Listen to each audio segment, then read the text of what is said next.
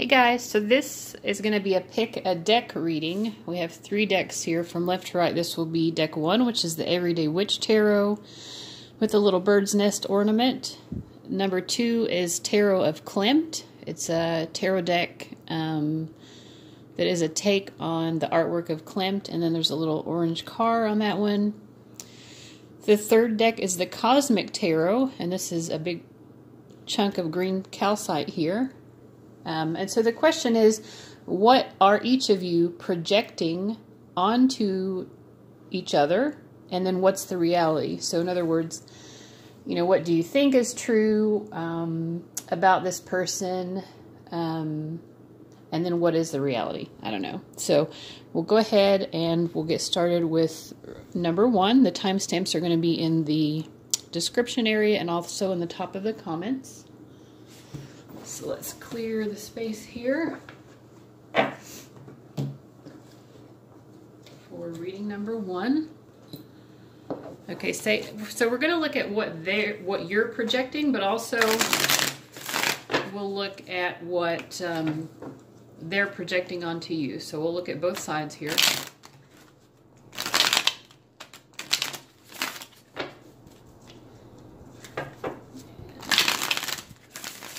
Okay, so what are you projecting onto this person? We get the Seven of Cups,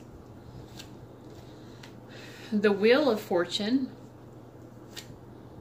and the Strength card.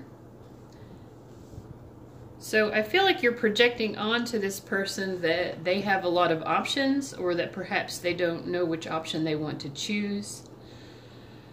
Um, I think you're projecting onto them something about what they hope to happen here, and you might be projecting that they have more courage than than they actually do, or more strength than they actually do. Let's look more into it. So this is what you're projecting. So what is the reality? The Nine of Cups, the Four of Wands, and then the Four of Pentacles. So you're projecting that they have a lot of choices, choices and that perhaps they're confused or even emotionally overwhelmed by the choices available to them. In reality, they're very happy. I feel like this person has already gotten beyond the act of making a choice. They already know what their choice is and they're totally at peace with that choice.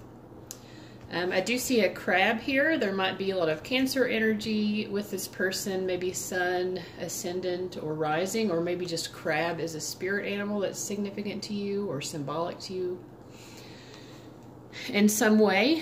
Um, but I am getting, getting the message like with Cancerian people, it can be confusing. It's easy to project on them onto these people that they haven't made a choice yet because they do tend to move sideways towards their goal. They are not someone who's very um, courageous per se. You know, they're pretty timid. They're really afraid of letting people into their shell.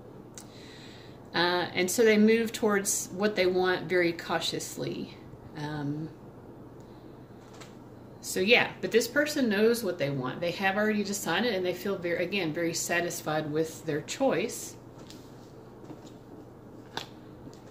So you're also projecting on them that perhaps this person doesn't quite know what they want. Um, again, or they don't know what the what the best outcome would be for them.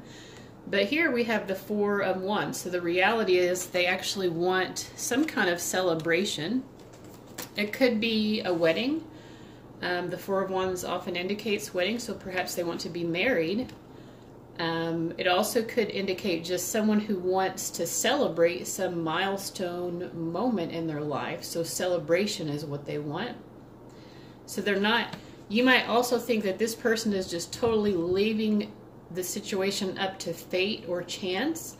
But with the Four of Wands, we can see that that is not the case. This is someone who is doing um, a lot of planning and implementing um, with the Wands energy, there's a lot of action taking place in order to get to this point. So this person is not just making decisions here, but they're they are also taking some action. So no, they're not just letting fate or destiny do its work. They are taking action as well.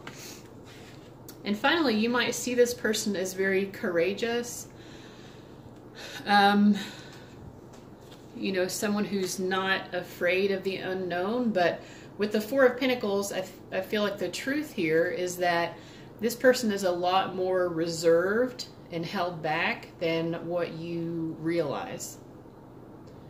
Okay, so that's what I'm getting in terms of what you're projecting and what the reality is. So what is this person projecting onto you?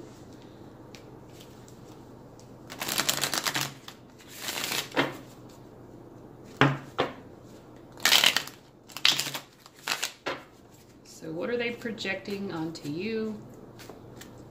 We get the Ten of Cups.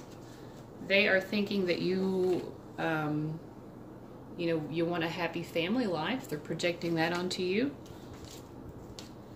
The Ace of Cups, they see you as someone who's extremely loving.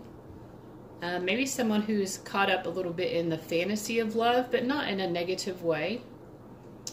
Um, someone whose cup is overflowing with love, and you can see how the water is pouring out of that cup, and it's watering this little, uh, these two little plants here. They're growing side by side, so they see you as someone whose heart overflows with love.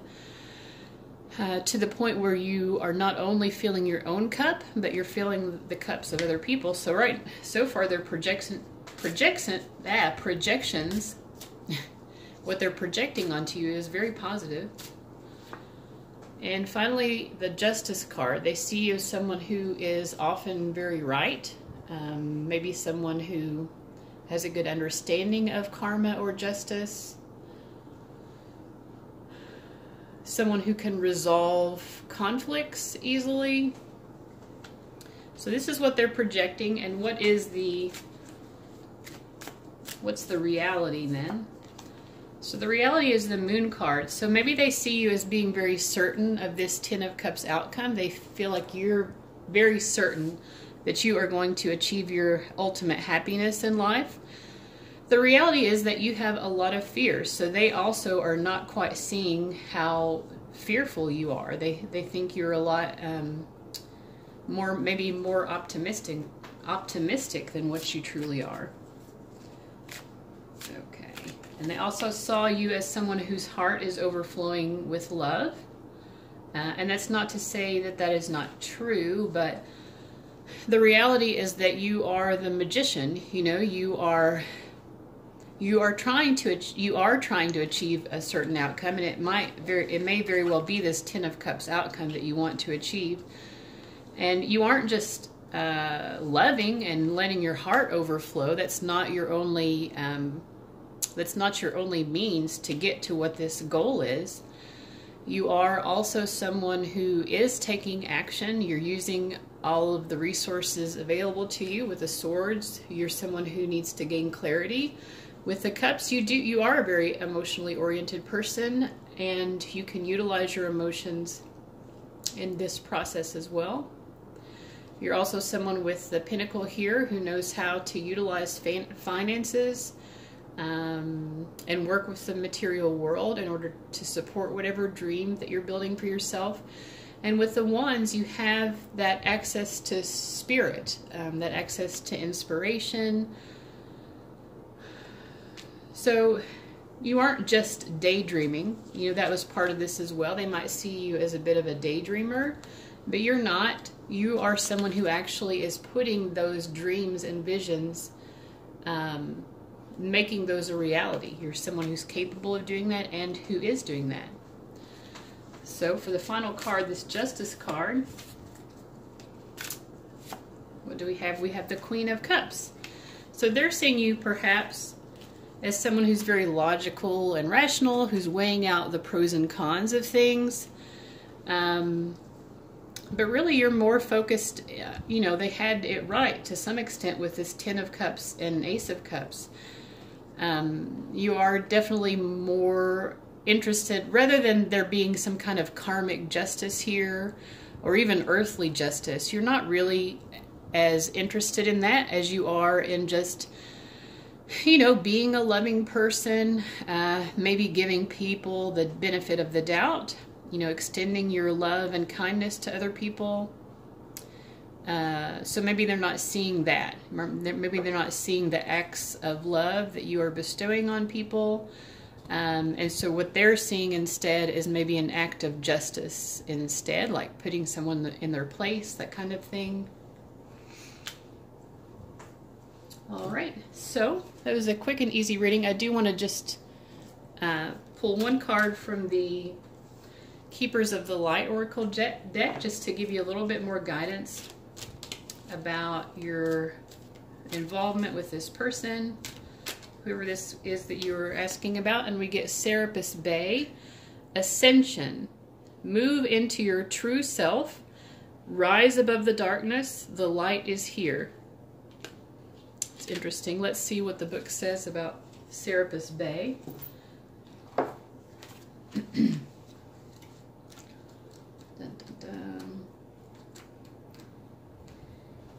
Okay, the message is the stars cannot shine without darkness. You may have experienced a low state of being, trauma, or depression, but this is a new beginning. Becoming become aware of growth. There is always room for improvement. There's also a sense of presentation now. You may be receiving documentation or certification to acknowledge your growth or experience. It's important to cherish this time and to realize that without the challenges or obstacles you have faced, you wouldn't be as strong, powerful, or focused as you are today. You are ascending personally and spiritually at this time, and the universe is here to support it. So I think that was a really beautiful message. Again, that was just a real quick reading for you guys. Um, if you chose number one, let me know what you thought about it in the comments there. And if you're not a subscriber, make sure to do that. And I'm going to go ahead and move on to reading number two.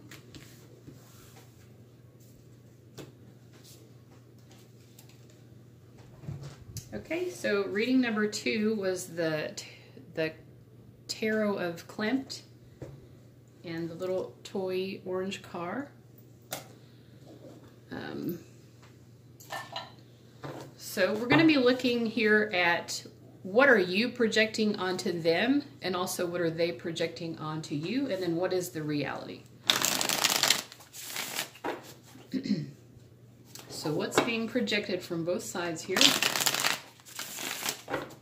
And if we could see what is the less distorted version of that projection, what would that be?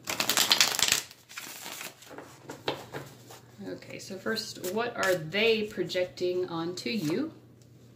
We get the Eight of Wands. So they they think that you're someone who maybe is flirty, um, also someone who's like a mover and a shaker, perhaps a social butterfly. They see you as that.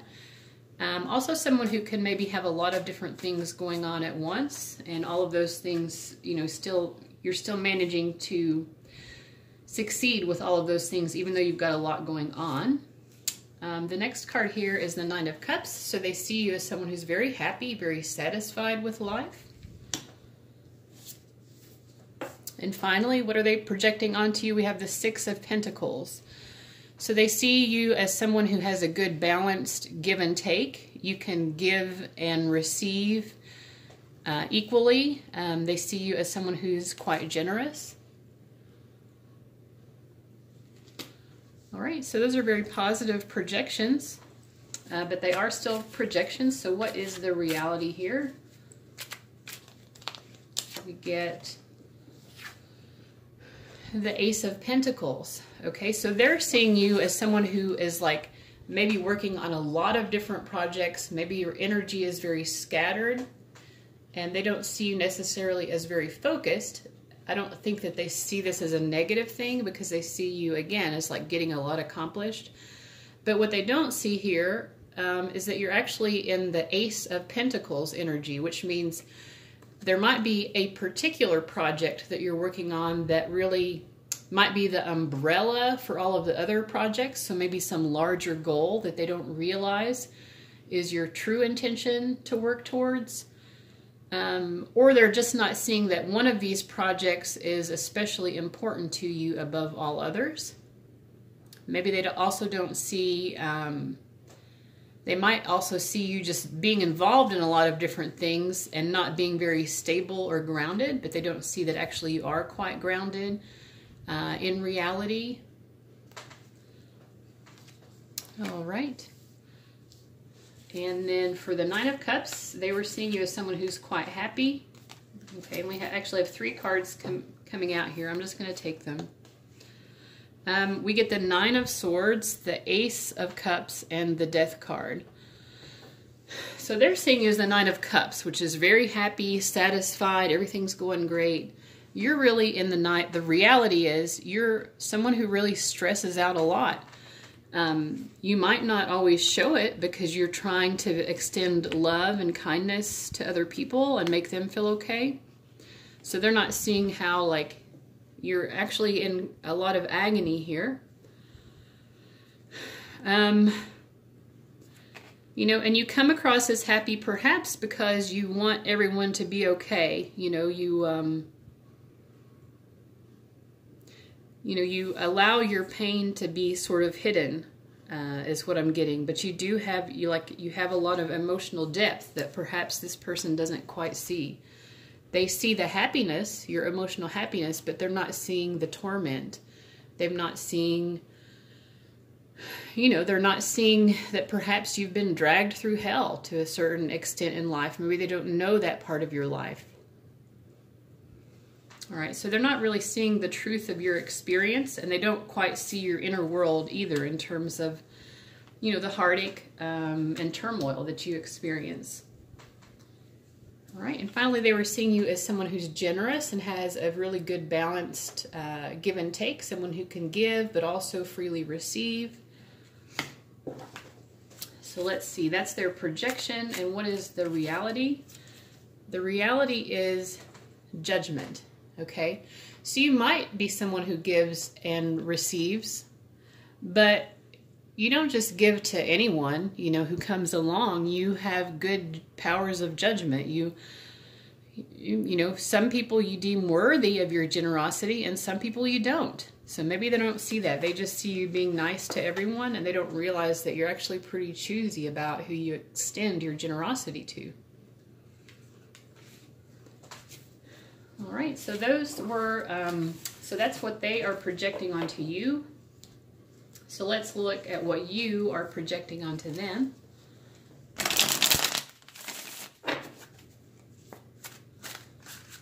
What are you projecting onto them? This, the moon. Okay, we got we get both of these connected. The moon, the Knight of Swords, and the King of Pentacles. So you're projecting onto them um, a real emotional depth um, or some issues about the past that just aren't reality. Let's go ahead and see what the reality is so maybe we can get a, a better understanding of what the moon card represents here. we get the Four of Swords. So you think they're actually having a difficult time, like maybe you're seeing them as kind of sad forlorn, depressed, um, all caught up in their emotions, having some kind of emotional upheaval. But the reality is they're actually quite peaceful. They're resting easily. Um, you might see them having troubled sleep or something like that, but they're resting very well. They're sleeping soundly. They feel calm and content. They feel pretty okay with life, actually. And with the Knight of Swords, you see them as someone who's very discerning, someone who's very intellectual, someone who maybe is more into their intuitive knowing than their, I'm sorry, into their rational way of knowing rather than their intuitive way. Uh, okay, so actually this is the Knave of Swords, which is the Page of Swords. So it's similar, but a little bit different. And the reality is that they are the Knight of Swords. So maybe you are seeing them as someone who, or I'm sorry, this is how they're, let me see. This is how they're seeing you. I'm getting this confused. I hope you're getting something out of this anyway. Um, so they're, let me see. Now I've confused myself. I think we started out with seeing what they were projecting onto you, right? Um, yeah. Okay. All right, well, I'm just going to keep going. I'm sorry for those of you who chose number two. I've confused myself, but I feel like this is um, what you're projecting onto them. That's how I started this part of the reading, so I'm just going to keep going with that. And hopefully you're getting a helpful message out of this. Um, but I think you're seeing them as someone who maybe is trying, they they are looking for answers. The you're seeing them as someone who has a lot of curiosity and who wants to know more before they make any sort of action or decisions. But with the Knight of Swords, the reality is this person has already made their decision. I feel like they already know everything that they need to know here, and they are already proceeding based on the knowledge that, that they do have about you, I think. Finally, you see them as the King of Pentacles So the King of Pentacles I often see as like the husband card, but it's also just, you know, the this is the King of, um, you know, the suit of earth. So this is someone who's very grounded. Um, they've uh, achieved significantly in the material world. They have a lot of material stability. Um, this is someone who also, you know, they... Uh, you know, in terms of their wealth, they like to share it with other people. They um, especially like a sense of community and family. So they like to make sure that their community is also well served. It isn't just about their own selfish personal needs.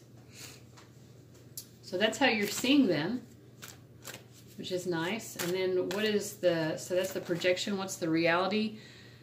The Knight of Wands. So actually this person may not be as rooted and grounded um, or have this, the firm foundations that you think, or maybe their, their goals in life are just not quite what you are projecting. Because this is someone who actually really wants to get out and explore the world more. They want to get out and explore and see the world, try new things, travel. So they're not necessarily it's not that maybe that they aren't this King of Pentacles energy in some way, but the rea- reality is much more in line with being adventurous and having unique and enlightening experiences in life. It isn't just about creating safety for themselves and other people. They don't necessarily always want to be safe. The Knight of Wands um, enjoys getting into sticky situations all right, so thanks for your patience through that. I know that was a little choppy. Um, finally, I'm going to pull a card from the Keepers of the Light Oracle deck. And for you, it is Holy Amethyst, Divine Alchemy. It says, move beyond current challenges. Focus on what you desire. All right, and let's see what the book says for Holy Amethyst. It says, You are ready to move beyond energies or situations that are no longer helpful to you and make space in your life for something more purposeful. You may feel a real need for clearing out, not just mentally or emotionally, but physically too. There is a sense that you are moving beyond challenges and forging golden opportunities from stagnant or unhappy experiences. It's important to recognize that you are like a magician at this time with the ability to use your thoughts, will, and actions to bring about life fulfilling and dream enhancing opportunities. It's important to focus on what you desire and not what you fear because what you give your energy to will literally begin to flourish. Call on Holy Amethyst to help you focus on golden opportunities. All right. So I hope that that uh, reading was helpful. Um, let me know in the comments. And I'm going to go ahead and move on to reading number three.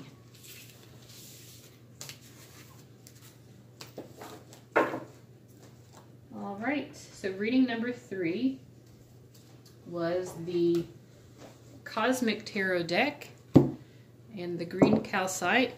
So we're going to be looking at what you are projecting onto them and what's the reality. And then we're going to look at what they are projecting onto you and what's the reality. And then uh, and then we'll get uh, Keepers of the Light Oracle card to give you just a little bit more guidance.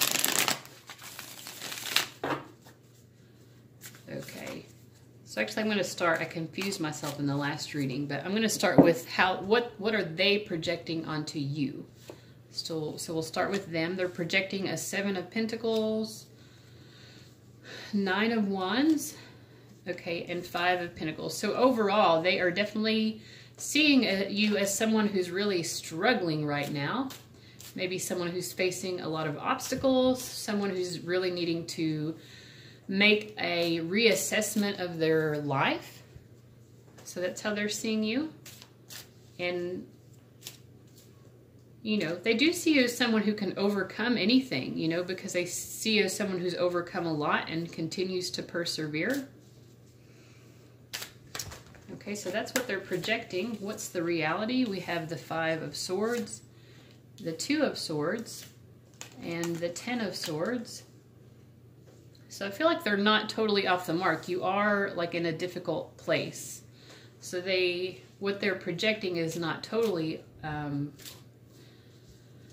off from reality. Um, so I feel like you feel uh, maybe perhaps a little bit overextended. It seems like the major obstacle you have right now with the Two of Swords is perhaps making a decision. You might be at a crossroads in life and you're needing to choose one of two paths. Or perhaps you've already chosen the path, uh, but regardless, you're like feeling pretty anxious. Um, you know, the Ten of Swords is about, it's similar to the Death card, um, perhaps even in some ways more painful. Now, someone commented, I guess this card must have come up from this particular deck in another of my reading, and someone commented this, this is the ugliest card they've ever seen. I have to agree, it's not that pretty to look at, and you know, and the Ten of Swords experience is not very pretty either. It is a difficult experience. Um, but, you know, just like with the Death card, you know, this experience is bringing uh, you to a new journey in life. So something has to end in order for this new beginning to start. So you're on the precipice, I think, of a new beginning. Um, so yeah, this person is seeing you pretty clearly. I don't think they're projecting too much onto you, actually. All right.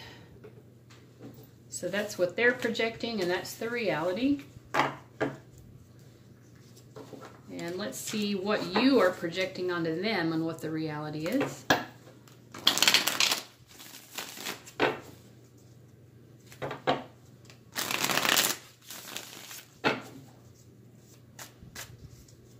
So what are you projecting onto them? The Four of Pentacles, the Star,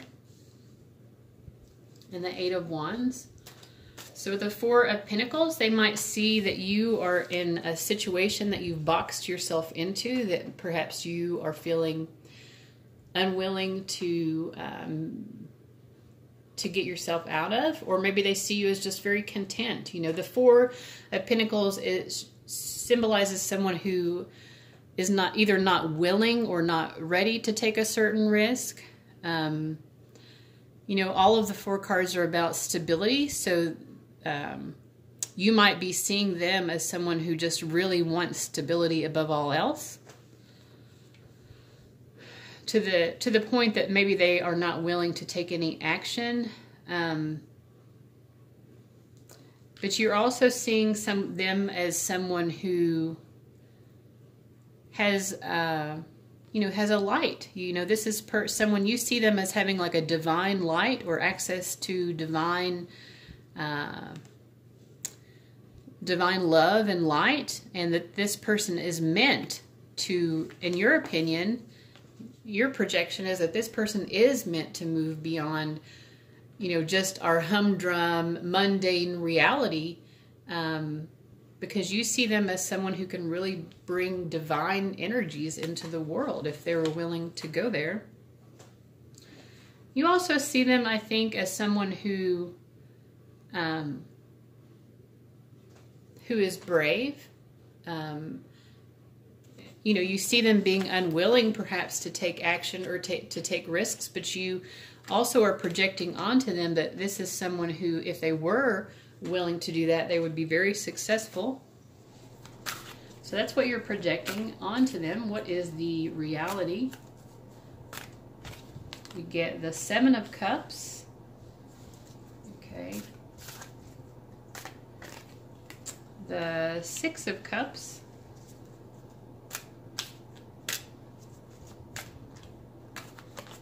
And the Eight of Swords. I feel like I have another card. The Five of Pentacles also wants to come up. And the Prince of Cups. So, they... Move that back a little bit. They... Um, so this is what you're seeing them as. Someone who's reserved, but if they moved beyond those reservations, they would bring a lot of light and love into the world and that they could be very courageous in doing so, uh, maybe very outspoken. That's what you're seeing. The reality is, you know, I don't think this person is not acting or they're not stuck in mundane reality per se. They, you know, this is someone who has a very vivid fantasy world, uh, like a vivid imagination. Um, you can even see here, like this person is kind of caught up in their imagination, although they are in that grounded four earthy energy of the Four of Pentacles. Their mind still wanders, and so they're not. Um, they they they are not as stuck in mundane reality or like the 3D reality that maybe you think. This is someone who has a very rich inner world. Um, and their inner world is sort of confusing to them emotionally at times.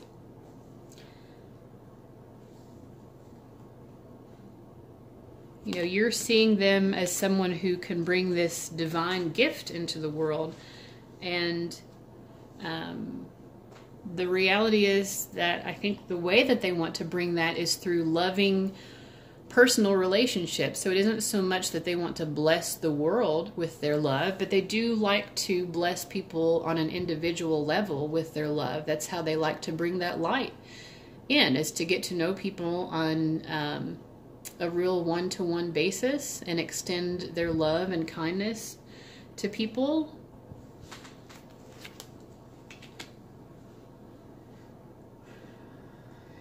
You know, you see them as someone who's very courageous and who could be outspoken. Um, the reality is that this person has a lot of mental hangups, and they don't. Ex- they actually don't express themselves very often or very outspokenly. Um, because they feel very uncertain about whether or not people will accept their truth, um, whether people will accept the truth of who they are. So I'm getting a lot of Cups cards here. We get the Five of Pentacles and the Prince of Cups finally. Uh, I mean, I feel like this is someone who's been through a lot of struggles in life. They might even view life as just a series of struggles in a way. And it's almost like to them, like the way that they cope with it is to really be fully engaged with their inner emotional life. Um, so you may not be seeing how how deep their emotions do run and how intensely emotional this person is. All right, so finally, I'm going to pull an oracle card from the Keepers of the Light Oracle deck.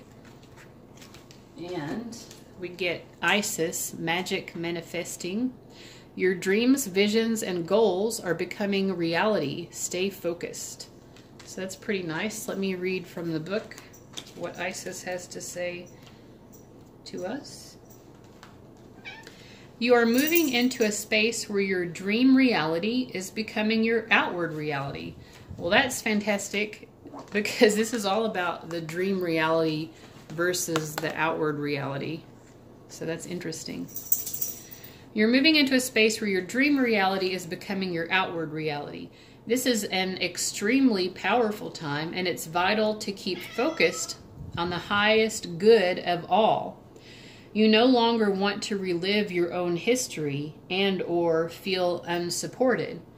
Acknowledging where you once were and how you have changed that situation around is a powerful focus of gratitude that will align you with universal abundance. Discipline and commitment are important now. Consider that you are moving between worlds when you daydream or create visions and bring life enhancing ideas into reality. Magic is manifesting all around you. This is exciting. So I think for those of you who want who are watching, this Isis message seems to be more about kind of explaining, you know, that message is for you as well, but I think it's kind of trying to explain to you where this other person is coming from and their experience. Um, you know that they're they really are envisioning a certain kind of reality, and their visions are coming to life. All right, so let me know, those of you who chose the third reading, what you thought of that in the comments. And if you haven't subscribed already, make sure to do so. And I hope you have a great day, guys. Goodbye.